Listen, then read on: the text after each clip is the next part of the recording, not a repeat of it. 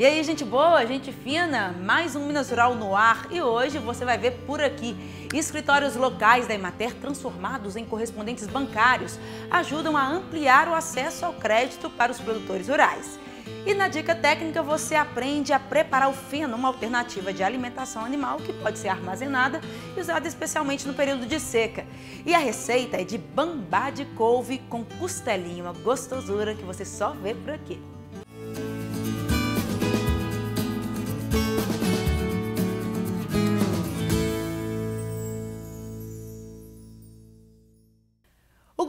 Minas lançou mais uma medida que vai permitir, de uma vezada só, combater a pobreza no campo, fortalecer a agricultura familiar e ainda enriquecer a alimentação escolar. Foram lançados editais coletivos para compra de alimentos da agricultura familiar que vão abastecer 253 escolas estaduais em 27 municípios. Os editais fazem parte do projeto Novos Encontros que vai integrar a estratégia de enfrentamento da pobreza no campo. Nessa etapa, a previsão é que sejam adquiridos 570 toneladas de alimentos, o equivale a 2 milhões e 700 mil reais. Em 2018, serão investidos mais de 26 milhões de reais na alimentação escolar, sendo que o Estado vai destinar, no mínimo, 30% desse total para a compra dos alimentos da agricultura familiar, passando a atender 759 escolas públicas.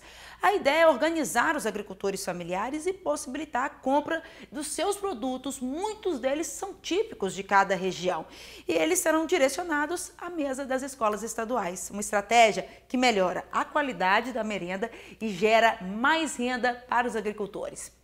Os editais estão disponíveis no Diário Oficial de Minas Gerais, na edição do dia 28 de março de 2018, assim como os municípios que serão contemplados e as orientações para a participação dos agricultores familiares. A edição do jornal também pode ser acessada pela internet no site jornal.iof.mg.gov.br.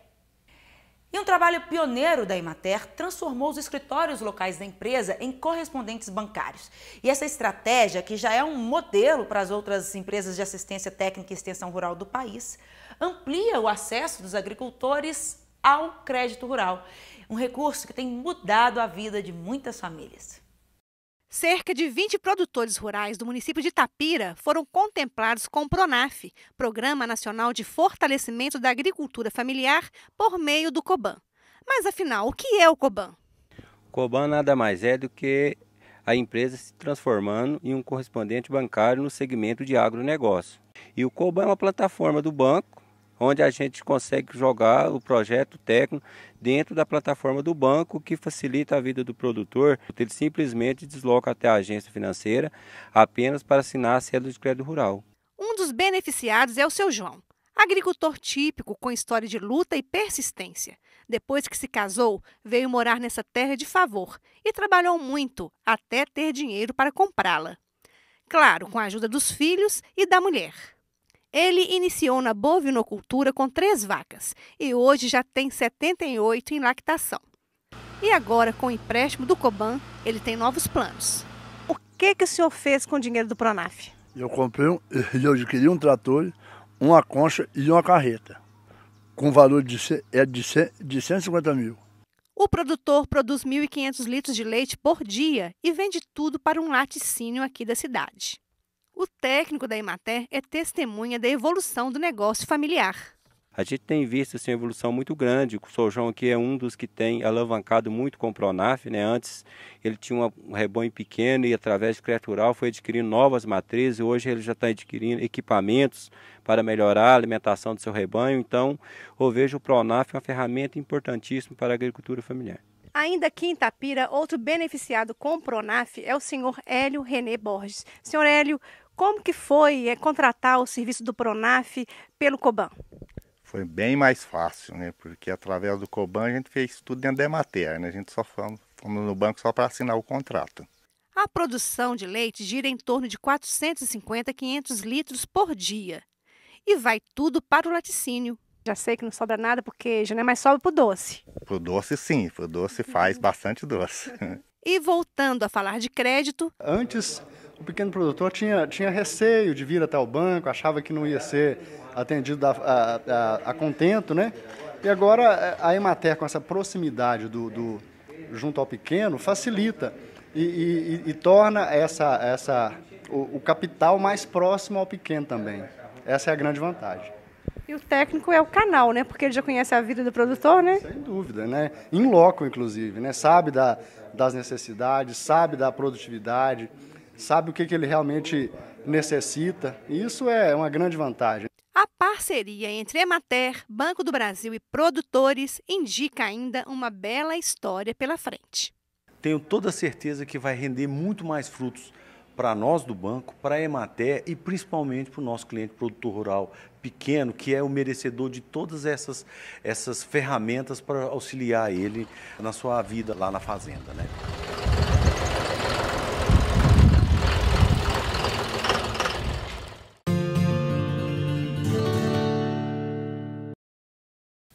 A partir de 2015, a Emater iniciou uma grande agenda de modernização e dinamização dos seus serviços. A gente sabe que cada vez mais a gente precisa fazer isso para poder atender com qualidade e velocidade os nossos clientes. Uma dessas agendas, consideradas estratégicas pela empresa, é o crédito rural. Em parceria com o Banco do Brasil, nos tornamos correspondente bancário especializado do setor agropecuário. O que isso significa? que os clientes e o nosso público que está nos vendo nessa matéria poderão e já podem, através do escritório da Emater, ter um acesso muito mais rápido e desburocratizado ao crédito com um número menor de idas ao bancos. A gente sabe que muitos municípios não têm mais agência do Banco do Brasil, mas a maioria dos municípios de Minas Gerais, quase 800, nós temos o escritório da Emater. Então, o que nós estamos fazendo nessa ação é fortalecer não só o acesso ao crédito, aumentar o volume de crédito, que também aquece a economia mineira. Só no ano passado foi quase um bilhão de reais por falar nisso, que através da Emater foi injetado de crédito rural no estado de Minas Gerais. Nós queremos não só aumentar o volume do crédito, mas dar mais conforto para o nosso cliente, para o agricultor, dar mais velocidade no acesso e fazer com que o crédito continue sendo a grande ferramenta do desenvolvimento agropecuário e do desenvolvimento rural mineiro. E a gente confere agora os destaques da agenda. A cidade de Araxá, no Alto Paranaíba, será o palco do concurso regional do queijo Minas artesanal. O concurso acontece no dia 13 de abril, no Parque de Exposições Agenor Lemos, primeiro seminário estadual da cachaça artesanal de Alambique, de 17 a 18 de abril no CREA MG, em Belo Horizonte, aberto ao público com a participação também de produtores. Cafeicultura sustentável é o tema do dia de campo que acontecerá na cidade de Fervedouro, na zona da Mata Mineira. O evento será realizado no dia 20 de abril na comunidade Ribeirão do Jorge. Vamos para um rapidíssimo intervalo e na volta você vai ver como o trabalho em parceria está recuperando a água em regiões secas do estado e também a renda dos produtores. A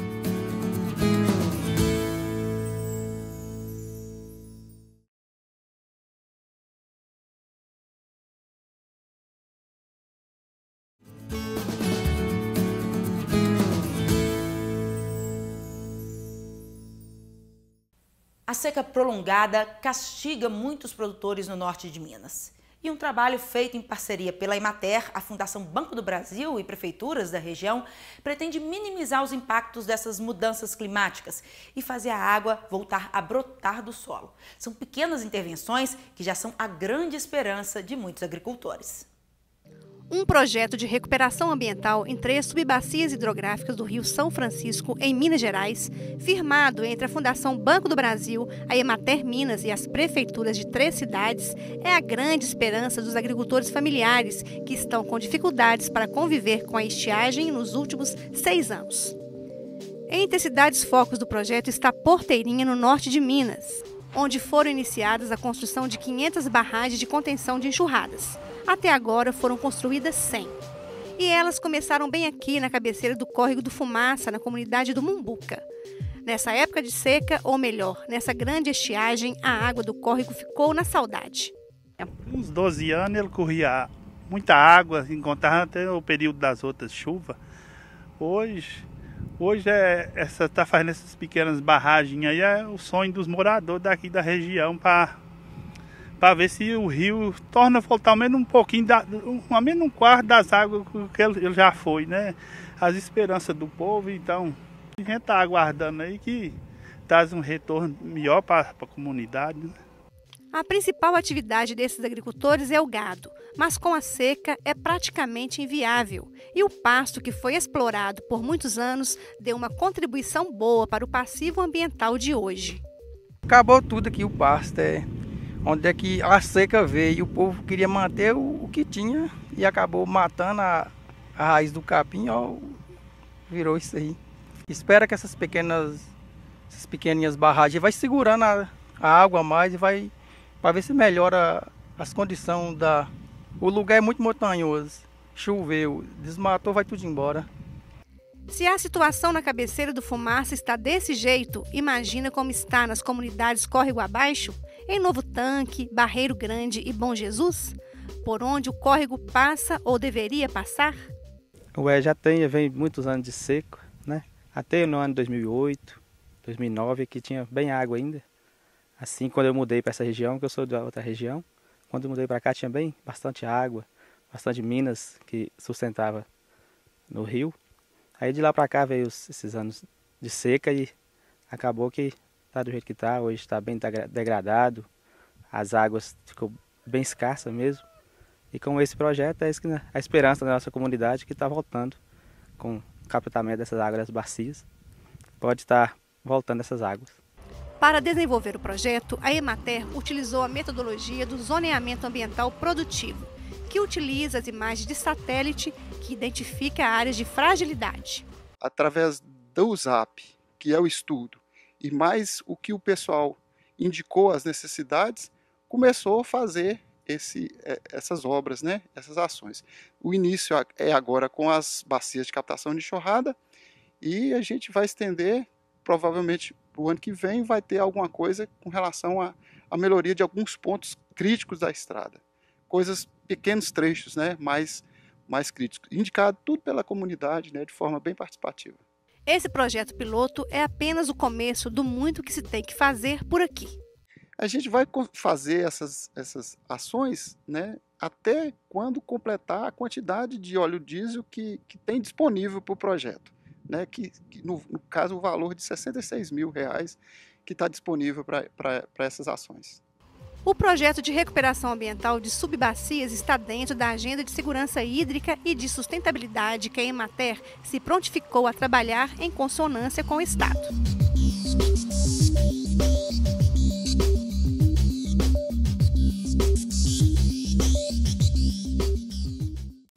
A união de esforços também da Emater, a Fundação Banco do Brasil e prefeituras está amenizando os impactos sofridos por comunidades que foram afetadas pelo rejeito do vazamento da barragem de Fundão em Mariana.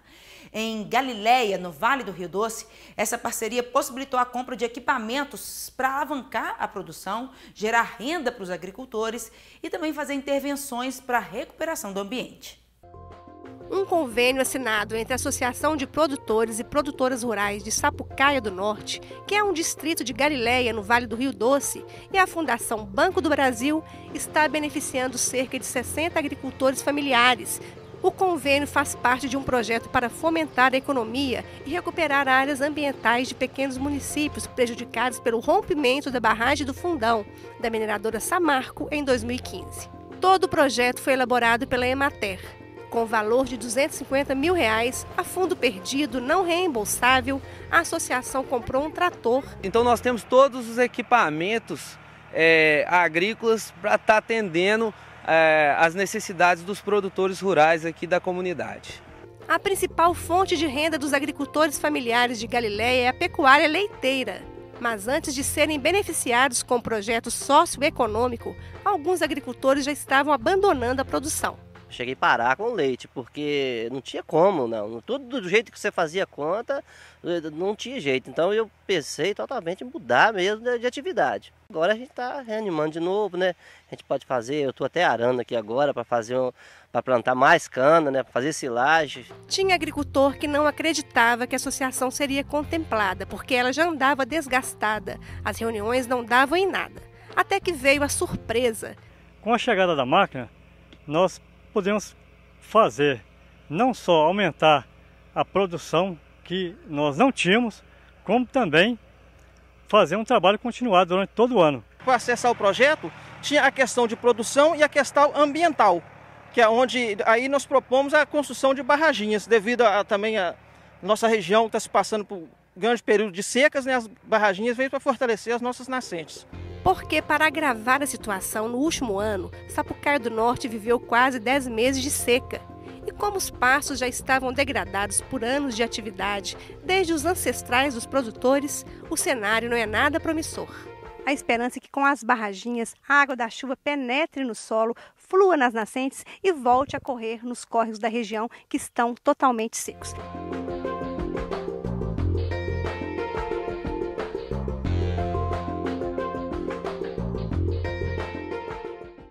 Vamos ver agora como se comportaram os preços dos produtos no mercado agropecuário. A saca de 60 quilos do milho, preço líquido ao produtor, no sul de Minas ficou entre R$ 35 e 43 reais. Na região central, ficou entre R$ 33 e 40 reais. Na região do Jequitinhonha, Mucuri, ficou entre R$ 29 e 30 reais.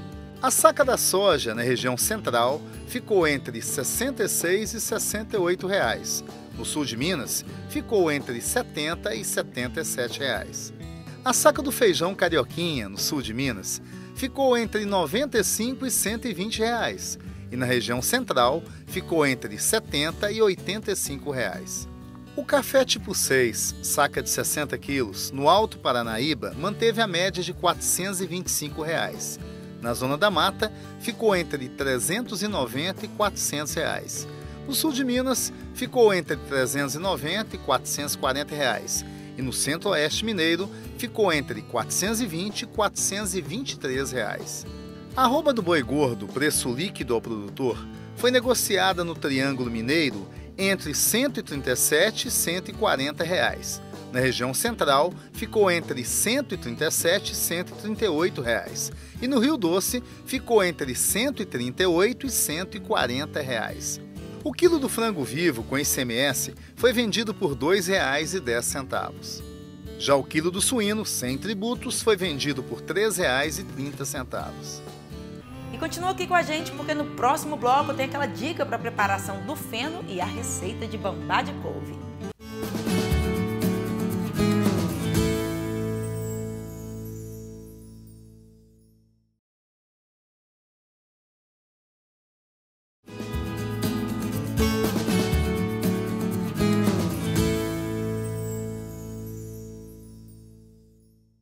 O feno é uma ótima alternativa para alimentação animal e pode ser preparado a partir de diferentes forrageiras desidratadas.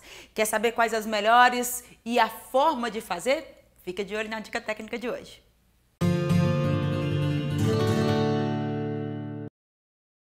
Já pensou em produzir feno aí na sua casa? Pois é, o professor Antônio Ricardo da UFLA vai te ensinar como produzir feno em pequena e larga escala com todos os detalhes. Preste bem atenção às dicas. O feno é um alimento muito interessante de ser utilizado na propriedade agrícola. Muitas forrageiras que existem na propriedade agrícola podem ser transformadas em feno. Isso pode ser feito tanto pelo pequeno produtor, como em maior escala para produtores utilizando equipamentos e maquinários. Na questão das forrageiras, tem muitas áreas na propriedade que os animais não entram e esse material vai sobrando e pode perder. Isso pode ser transformado em feno. E o feno, ao ser utilizado na alimentação animal, ele soma com a silagem, soma com a cana, soma com o capim. Então é um componente que pode somar. Nós não podemos ficar perdendo a oportunidade de utilizar alimentos bons, forrageiras boas na propriedade, e, e sem tê-la transformada num alimento para reserva, como por exemplo o feno. Então é essa a nossa sugestão, é essa a dica. Existem as forrageiras mais recomendadas para a produção de feno. São aquelas das hastes mais finas, do, do talo, né, que é como o pessoal chama, mais fino que desidrata mais fácil. Então o que, que é o feno? É o produto desidratado, é a forragem desidratada para poder ser armazenado. No armazenamento, é, é necessário que evite a luz direta, é necessário que evite umidade. Então muitas pessoas pensam que para ser feno precisa estar enfardado. Não é assim. Pode ser é, armazenado em sacos, pode ser armazenado solto. Então o feno está ao alcance de qualquer produtor e a maioria das forrageiras utilizadas como pasto podem ser transformadas em feno. E a hora que esse alimento é utilizado na alimentação animal, ele potencializa o uso das outras coisas. Então não deixem de, de transformar sobras de alimentos, de forragem que você tem na propriedade em feno, e é interessante, é importante, é um produto muito bom. A nossa dica técnica de hoje falou em como produzir feno em pequena e larga escala. Espero que você de casa tenha aprendido as dicas.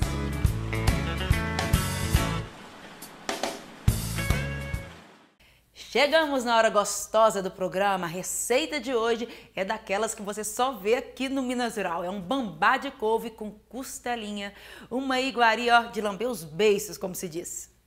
Hoje, o Minas Rural está aqui em Brumadinho, na pousada Verde Vilas, onde o chefe Ângelo Antônio vai preparar para a gente um bambá de couve com costelinha. É um prato bem rural e ele me garantiu que serve até para curar ressaca, não é isso, Ângelo? Isso mesmo, prato com bastante sustância que minha avó fazia quando eu era criança. Vamos aos ingredientes?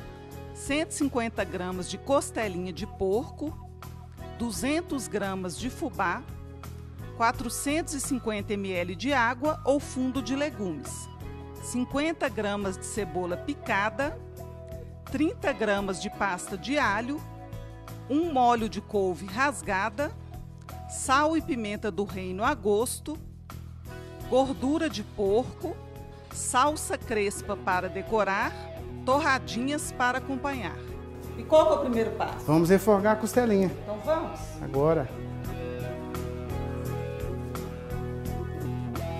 Antes de refogar a costelinha, vamos temperá-la com sal e pimenta do reino. Vamos refogar com a gordura de porco, alho, cebola repicada e a costelinha.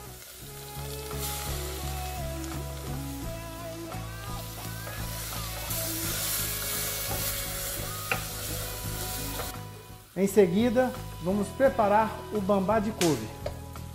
Vamos refogar o alho e a cebola também na gordurinha de porco.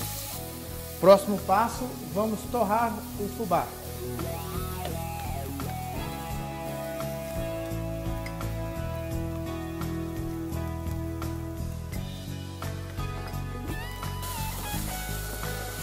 Após torrado o fubá, vamos entrar com fundo de legumes.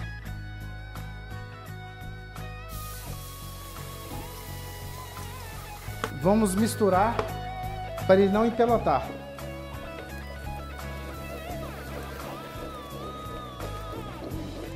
Para temperar o bambá, sal, pimenta do reino.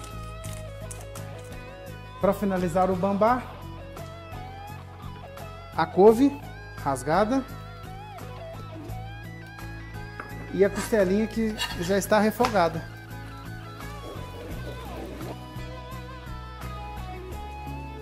Vamos montar o prato. O bambá, as torradinhas. Vamos finalizar com a salsinha crespa. Está pronto o nosso bambá de couve com costelinha. Agora é só saborear. O programa de hoje está terminando, mas para continuar em contato com a gente, ficar por dentro do que acontece na Imater, rever esta edição do programa e também as anteriores, é só entrar lá no nosso site www.emater.mg.gov.br. Lá você vai ter muito mais informações, notícias sobre o trabalho da assistência técnica e extensão rural, cotações, receitas, conteúdo técnico e muito mais. Você também pode nos acompanhar no Facebook, no Instagram e também no YouTube. Para tirar as dúvidas e ter acesso às informações técnicas, você pode ligar no telefone 31 3349 8120 ou ainda entrar em contato pelo nosso site, naquele endereço www.emater.mg.gov.br, lá no plantão técnico na aba Serviços. Para sugerir matérias para o programa, é só mandar um e-mail para comunicacão.emater.mg.gov.br. Obrigada mais uma vez pela sua companhia e a gente volta a se falar na semana que vem. Tchau!